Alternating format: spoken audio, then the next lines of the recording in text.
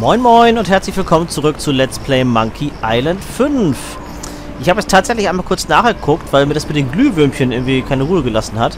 Weil die Glühwürmchenspur sollte uns natürlich nicht zu den Motten führen. Das habe ich mir schon fast gedacht. Das war Zufall, dass wir die entdeckt haben. Nein, wir sollten natürlich das Dschungelbiest finden. Und ich habe den richtigen Weg genommen. Das heißt, die Glühwürmchenspur führt tatsächlich zu diesem Windsteuerungsgerät hin. Das ist korrekt. Ähm, da hört aber die Spur ja auf. Also ich bin richtig der Spur gefolgt. Hier soll es einen versteckten Pfad geben. Also bei dem Windsteuerungsgerät gibt es wohl einen versteckten Pfad, der irgendwo hinführt. Und den habe ich noch nicht gesehen. Ähm. Ja, wo gibt es hier einen versteckten Pfad? Götterstatue? Äh. Zurück zum Dschungeleingang. Da bin ich jetzt echt gespannt gespannt. Also. Hm. Also hier sehe ich keinen versteckten Pfad, tut mir leid. Oder hier. Ah, guckt mal da. Von, von Glühwürmchen erleuchteter Geheimweg. Der mächtige Piratenjäger spürt seine Beute anhand einer deutlichen, Glühwürmchen anziehenden Spur auf. Ah. Okay, das wusste ich nicht. Das ist das legendäre Dschungelbiest von Flotsam Island? Aha. Die arme, fleischfressende Stinkbombe scheint starke Schmerzen zu haben. Eine Löwenpfote. Oh, schau dir das an. In den Zähnen, äh, Dornen der armen, fleischfressenden Pflanze steckt eine stinkende, faulende Löwenpfote. Beweg dich nicht, kleiner Freund. Ich hole dieses eklige Stück Fleisch da... Vielleicht machen wir das mit dem Haken. Komm schon, Pflanze. Her mit der Pfote. Wenn dieser Mund weiter so nach mir schnappt, kriege ich die super stinkende Pfote nie. Okay. Hier haben wir noch Knochenreste. Das hilft... Hm, ja. Okay, wir müssen das Maul zukriegen, ne? Oder können wir vielleicht die mit einem Stück Fleisch ablenken? Was zum... Es ist leer. Was? Der ganze Sack war doch eben voll. Äh. Ah, vielleicht auf dem kaputten Bein. Hier, Junge. Oh, das sieht unbequem aus. Aber wenigstens schnappt er nicht mehr nach mir. Das ist gut, dann kannst du jetzt ja die Foto nehmen. Keine Angst, du kleine Abscheulichkeit. Dr. Guybrush wird alles wieder gut machen. Hab dich. Igitt. So etwas Ekelhaftes habe ich in meinen ganzen Piratenjahren noch nie gerochen. Und ich habe gerade erst ein paar Tage in einer riesigen Seekuh verbracht. Das stimmt. Immer wieder mit, ja. Okay, jetzt haben wir das Dschungelbiest kennengelernt und wir haben jetzt eine Löwenpfote. Was machen wir damit? Diese Löwenpfote stinkt schlimmer als die Nackenfalten meiner Schwiegermutter. Ja, das ist toll. Vielleicht ist die Löwenpfote ja krankerweise auch wieder eine Zutat für den Schwamm. So, eine Kleinigkeit habe ich dann noch nachgeguckt, gebe ich zu, weil ich wollte es wollte wissen, was es mit dieser Paperoni auf sich hat. Und ja, wir hätten einfach mal äh, das Schild, glaube ich, anklicken sollen. Genau wie damals bei diesem äh, Volcano Shots Wettbewerb. Wir können ähm, da, also Wettbewerb teilnehmen, einmal, ja, man muss halt glaube ich, in die scharfe Paperoni beißen, ohne irgendwie durchzudrehen oder irgendwie sowas in der Richtung. Und dann kriegt man irgendwas dafür. Was, weiß ich nicht. Das habe ich jetzt nicht geguckt. Nur, dass man den Wettbewerb machen muss. Und dann gucken wir mal. Äh, hallo? Ist es da? Das, das Schild. Da, das Schild hätten wir uns angucken müssen. Ah, okay. Bist du Pirat genug für die Fugujolokia-Herausforderung? Das hätten wir jetzt wissen müssen. Und jetzt können wir den Barkeeper auch drauf ansprechen. Alles klar. Hey, WP. Da, genau. Erzählen Sie mir etwas über die Fugujolokia-Herausforderung. Ah, sind wir etwa ein Connoisseur exotischer kulinarischer Freuden? Äh, ja? Dann haben Sie gewiss schon von der Fugujolokia gehört, der schärfsten Pepperoni der Welt oder der kommenden. Ach, die Fugujolokia. Ich konnte vor vielen Jahren ein Exemplar dieser Art, dieser Fugu Pepperoni, von einem dreibeinigen Piraten namens Ord erstehen. Ich gewann sie, weil ich meine Zunge für ganze 10 Sekunden an die Pepperoni halten konnte. Wie ausgefallen? Seit diesem Zungenvernichtertag habe ich geschworen, diese Pepperoni dem ersten Piraten weiterzureichen, der es schafft, seine Zunge für elf Sekunden an die Fugo Cholokia zu halten.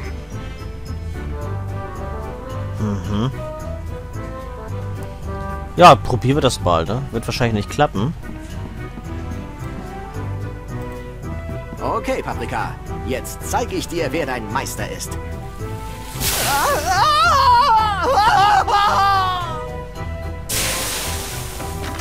Okay, Memo an mich selbst. Die Fugo Jolokia anfassen ist auch heiß.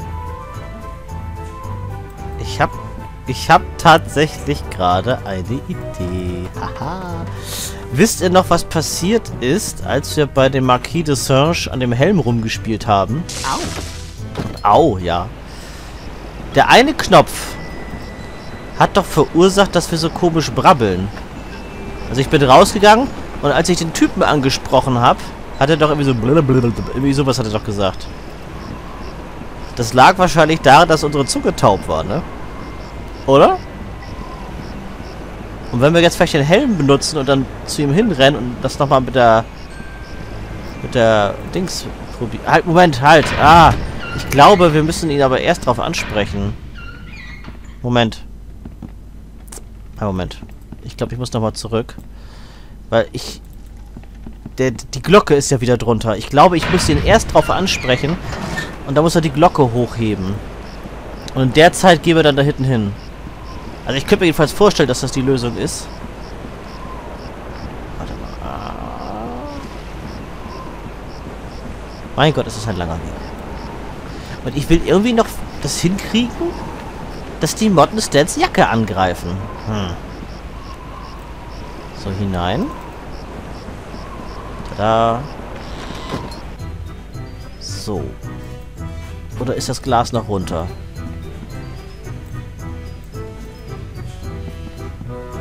Nee, das Glas ist nämlich wieder unten. Und ich glaube, ich muss ihn erstmal darauf ansprechen, dass das Glas hochgezogen wird. Hey, WP! Ja. Ich würde mich gern der Fugo Jolokia-Herausforderung stellen. Hatte ich mir doch gedacht, Sie sind ein Mann, der kulinarische Abenteuer nicht scheut. Meine Damen und Herren, wir haben einen neuen Herausforderer. Whoopi! Whoppy. Genau, jetzt geht das Glas hoch. Immer Sie bereit sind. Ah, er gibt uns sogar Zeit. Dann denke ich mal, können wir jetzt mal unsere Zunge präparieren. Also ich vermute mal, dass es das ist. Au! Warum sagt er da eigentlich ständig Au? Was ist denn da? Hm. Gut, äh, ich versuche das jetzt. Weil dieser Helm muss ja auch irgendwie einen Nutzen haben. Das, das habe ich mich letztes Mal schon gefragt, was das soll. Also der eine hat uns geschrumpft, der eine Knopf. Der andere hat uns... Wie war denn das überhaupt? Hat uns auf den Kopf gestellt. Und der andere hat uns blind werden lassen. Und ich glaube, der eine Knopf hat wirklich unsere Zunge betäubt. Oder jedenfalls, wir konnten danach nicht mehr richtig sprechen. Also irgendwas ist mit der Zunge passiert, denke ich mal. Pass auf. Ich weiß natürlich jetzt nicht mehr... Ich glaube, das war der, den ich zuletzt probiert hatte. Au! Was hast du? Mein Sohn! Er sagt sogar, meine Zunge. Okay. Dann gehen wir erstmal direkt dahin. Ich weiß ja nicht, wie lange das anhält. Deswegen beeilen wir uns mal. Wahrscheinlich ist das nach der Zeit wieder weg, kann ich mir vorstellen. Lauf, lauf, lauf, lauf. Kleiner Guybrush. Lauf, lauf. Ich hoffe, dass das Glas noch immer runter ist, weil sonst war das wieder eine Theorie für die Katz. Aber ich glaube, das könnte so sein. Aber wozu sollten sie das sonst machen mit der Zunge? So. Oh, die Zunge hängt sogar... Habt ihr es gesehen? Die hängt sogar bildtechnisch noch raus, die Zunge. Und ran da. Da, da, da, blablabla. Nie im Leben werde ich diese Paprika nochmal mit nackten Händen aufheben. Ach nee. Äh. Ach, ich hätte die Löwenpfote nehmen müssen. Ja, jetzt ist zu spät, ne? Hängt die Zunge noch aus seinem Mund? Nee. Okay, dann müssen wir nochmal. Okay. Wow. Warum passiert das ständig? Ja. Oh, kribbelnd. Das verstehe ich nicht so ganz, ne? Au. Was, was ist das? Warum passiert das die ganze Zeit? Warum wird es immer heftiger? Okay. Also ich denke mal, dass das dann schon richtig ist. Und äh, dafür brauchen wir also die Löwenpfote. Die Löwenpfote dient praktisch jetzt als Handschuh. Oder? Ah, ich würde es dem Spiel zutrauen. Okay, das, das wollen wir jetzt auf jeden Fall noch lösen, das Rätsel. Aber ich vermute, weil das wird jetzt erstmal der letzte Part, den ich jetzt aufnehme in dieser Session, weil ich dann keine Zeit mehr habe. Aber vielleicht äh, nehme ich den Rest des Kapitels dann heute noch auf, mal sehen. Weil ich wollte heute ganz gern noch ein neues Projekt anfangen. Au. Was hast du? Mein Sohn. Äh, wenn wir, also ich wollte nämlich heute mit dem äh, Nachfolgeprojekt von Resident Evil Dark Side Chronicles anfangen. Nämlich Red Ninja End of Honor. Und da wollte ich nachher zumindest schon mal ein, zwei, drei Parts aufnehmen. Mal gucken, wie das Spiel so ist. Aber vielleicht mache ich auch dieses Spiel erst noch zu Ende. Mal gucken. Also nicht zu Ende, das Kapitel, ne? Das Kapitel noch zu Ende. So. Und das fünfte Kapitel machen wir dann später so rein. Dann versuche ich das jetzt echt mit der Löwenpfote. Was soll das? Diese Lampe leckt Öl. Nicht irgendein Öl. Äh. Seekuhöl. Je, das ist einfach nicht richtig. Oh, jetzt habe ich aus Versehen die Lampe ange... Ich drehe durch. Ey, Leute, ich drehe durch. Jetzt habe ich aus Versehen die Lampe angesprochen. Jetzt darf ich nochmal zurückrennen. Ey, wenn dieser Weg nicht so lang wäre, ne? Oh. Ah, Gleich ist das Glas wahrscheinlich wieder unten. Kann ich direkt die Tür anwählen? Ja, kann ich. Dann renn da mal hin. Das ist, glaube ich, einfacher. Tut mir leid, dass ich mich jetzt hier so anstelle, aber das ist gar nicht so einfach, diesen ganzen Weg zu rennen, ohne irgendwas anzusprechen.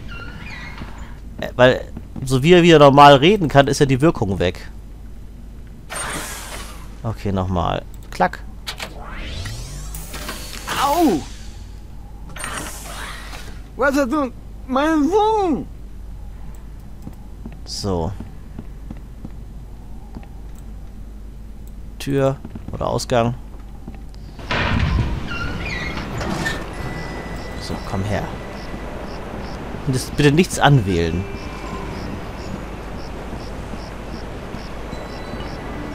Lauf, lauf, lauf. Kleiner Guybrush, lauf.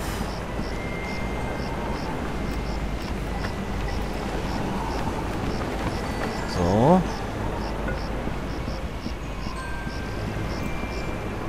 Tür. So, jetzt bitte. Schaff es, scha äh. Scheibrasch. Guybrush. So. Na, pass auf. Äh, komm her. Pfote mit Pepperoni. Ich glaube nicht, dass dafür eine stinkende Löwenpfote gut ist. Och, Mann! Ah, ja, ich bin so doof. Er hat es ja beim letzten Mal sogar noch gesagt. Oh. Ihr wisst, was ich meine. Ne? Also, oh, das tut mir jetzt echt leid, dass ihr den Scheiß hier immer, immer wieder angucken müsst. Ähm, er hat doch gesagt, ja, mit diesem Haken würde sich die Peperoni super greifen lassen. Nur leider ist das Glas im Weg. Äh, nein, du sollst da lang.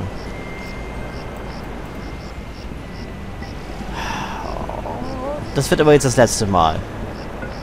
Ich kann den Weg bald selbst nicht mehr sehen. So, komm. Ja, ich dachte echt, dass er die Löwenpfote vielleicht irgendwie als Handschuh benutzt. Also gut. Noch einmal den Helm benutzen. So. Äh. Au. Was hast du? Mein Sohn. So, raus hier. Okay. Und lauf, Guybrush. Lauf, lauf, lauf, lauf, lauf, lauf, lauf. So. Okay. An Stan vorbei. Nicht da. Ja, da ist der Balk nämlich dazwischen gekommen. Und deswegen hatte ich damals die damals die Möwe angeklickt oder so. So, nimm den Haken mit der Peperoni jetzt, komm. Bitte. Ah.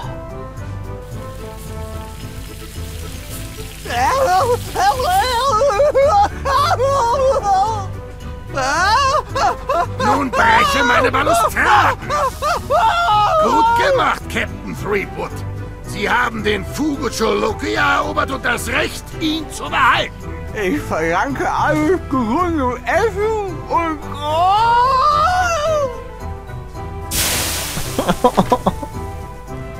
Ich werde vermutlich dauerhaften lingualen Schaden davontragen, aber es hat sich total gelohnt, dass ich mir diese Peperoni gekrallt habe.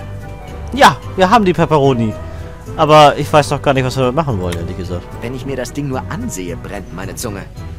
Ja, ich habe jetzt was ganz, ganz Scharfes. Aber das will doch der Dings hier nicht haben, ne?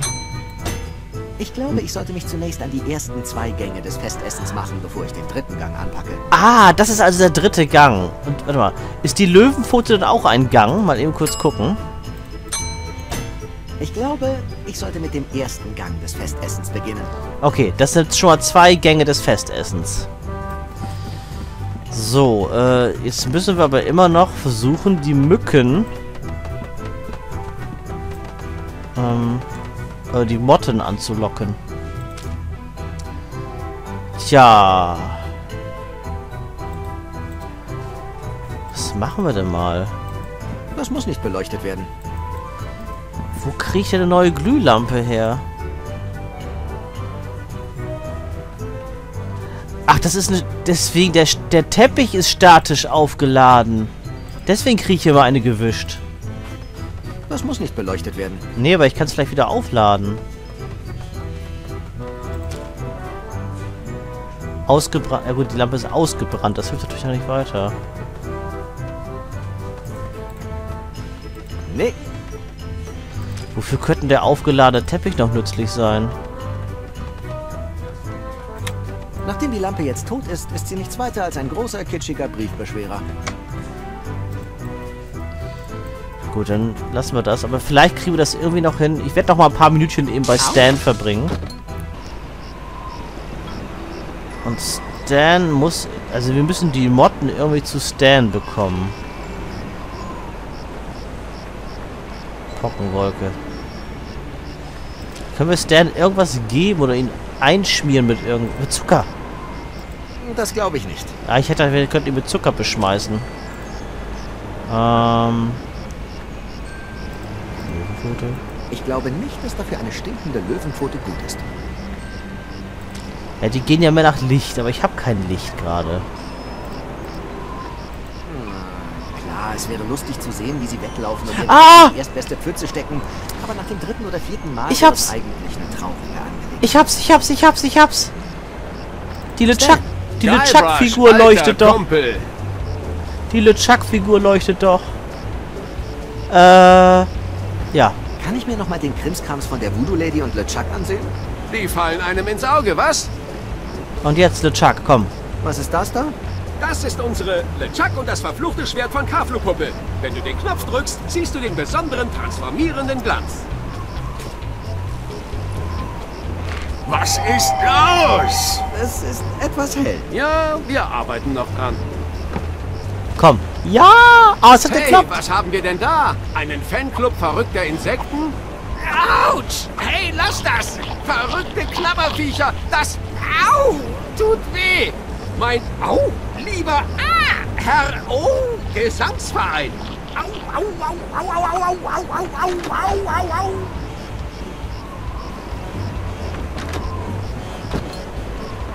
Hey, das war vielleicht ein Erlebnis, Herr Threepwood? Zum Glück hat der alte Stan immer ein paar Reservejacken im Büro. Sonst müsste ich meine Mandanten hüllenlos verteidigen. Genau genommen wäre das doch ein Hit. Stan S. Stanman, nackter Rechtsanwalt des Vertrauens. Sie haben nichts zu verbergen. Und er auch nicht. Ähm... Genug geplaudert, Threepwood. Ich muss jetzt Visitenkarten drucken. Sehr schön. Da liegt Stoffrest. Süß. Haha. Sehr geil. Jetzt haben wir ja endlich die erste Zutat. Also, die Serviette mit dem Schwamm. Okay. Als ich davon träumte, ein mächtiger Pirat zu werden, hatte ich mir nie vorgestellt, dass ich eines Tages Servietten, die ins Auge springen, um den nicht existierenden Hals eines mystischen Schwamms binden würde. Ja. Jetzt gucken wir uns das Rezept an und falten das wohl nochmal, ne? Das ist der erste Gang. Ach so, ich muss das auf... Ne, muss ich das auf verschiedene Weisen falten? Ähm... Ich habe nur oberer Falz und unterer Falz. Wie kriege ich denn den...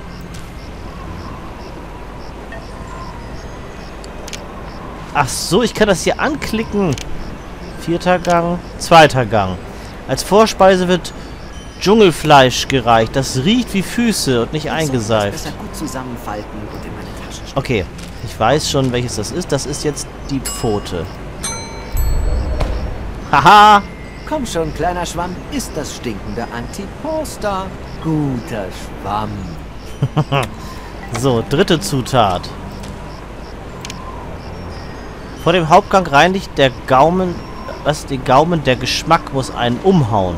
Das ist die, äh, Pepperoni, würde ich sagen. Ahaha! Gut, dass der Schwamm keine Zunge hat, sonst würde ich die jetzt ins Meer halten. Sehr schön. Nächstes Rezept. Mal gucken, wie weit wir kommen. Vierter Gang. Der Hauptgang wird nicht ohne Aufregung gehen. Nutze die Kraft, um den sechsten Sinn zu sehen. Gehirn, ne? Äh.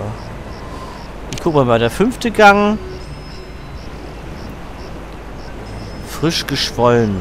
Ein Nachtisch ganz fein. Eine Berührung so scharf wie eine Pein. Berührung. Hand. Und das letzte. Das Mahl beendet ein befreiender Schrei und ein lauter Rülpser sei auch dabei. Also der vierte Gang ohne Auf... Vierte Gang wird nicht ohne Aufregung gehen. Nutze die Karte, um den sechsten Sinn zu sehen. Ach so. Ähm. Sechsten Sinn. Hm. Wahrscheinlich nicht einfach stumpf die Karte, ne? Ja, da muss ich mir nochmal Gedanken drüber machen, aber der Part ist eh zu Ende. Mal gucken, vielleicht machen wir uns dann nachher nochmal ran. Äh, ich bin jetzt schon äh, gewillt, weiter voranzuschreiten. Und äh, ja, dann sehen wir uns im nächsten Part wieder. Euer Alex sagt ciao. Ciao.